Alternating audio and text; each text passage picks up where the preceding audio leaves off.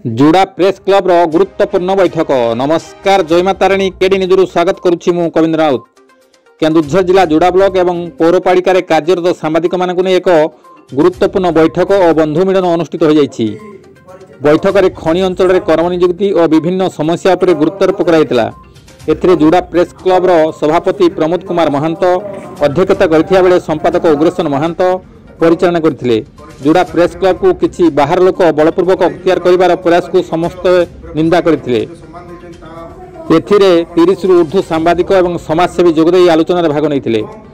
ଯୋଡ଼ା ବ୍ଲକର କାର୍ଯ୍ୟରତ ସାମ୍ବାଦିକ ରତ୍ନାକର ମହାପାତ୍ର ଗଣେଶ ଚନ୍ଦ୍ର ସାହୁ ସୌମ୍ୟରଞ୍ଜନ ବାରିକ ମନୋରଞ୍ଜନ ଲେଙ୍କା ସୁନୀଲ ସାମଲ ସୁବାସ ବିହାରୀ ସୁଶାନ୍ତ କର ସୁଷମା କାରୁଆ ଅଜୟ ଜୁରା ପିନୁ ପାତ୍ର ଆନନ୍ଦ ବାରିକ ସୁସ୍ମିତା କୁଲ୍ଲୁ ପ୍ରିୟଙ୍କା ଗୋପ ସତ୍ୟଭାମା ଦୀକ୍ଷିତ ରାଜେନ୍ଦ୍ର ଦାସ ପ୍ରାଣଜା ବଡ଼ପଣ୍ଡା ଦିଲ୍ଲୁ ସ୍ୱାମୀ ଶ୍ୟାମସୁନ୍ଦର ଓରାମ ପ୍ରମୁଖ ଯୋଗଦେଇ ବୈଠକରେ ମତାମତ ରଖିଥିଲେ ମହେନ୍ଦ୍ର ପାତ୍ରଙ୍କ report KD news Odia Pramod Kumar Mahat ଯୋଡ଼ା ପ୍ରେସ୍ କ୍ଲବର ସଭାପତି ଆଜି ଯୋଡ଼ା ଅଞ୍ଚଳର ନୂତନ ସଦସ୍ୟ ଗ୍ରହଣ କରିବା ସହିତ ବନ୍ଧୁ ମିଳନ କାର୍ଯ୍ୟକ୍ରମ ଆମ୍ଭେ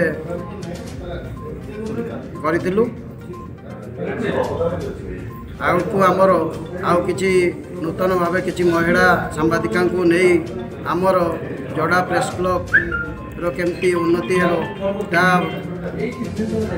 ବାବଦରେ ଚିନ୍ତା କରି ଆମେ ଆମର କ୍ଲବର ଉନ୍ନତି କାମନା କରିବୁ।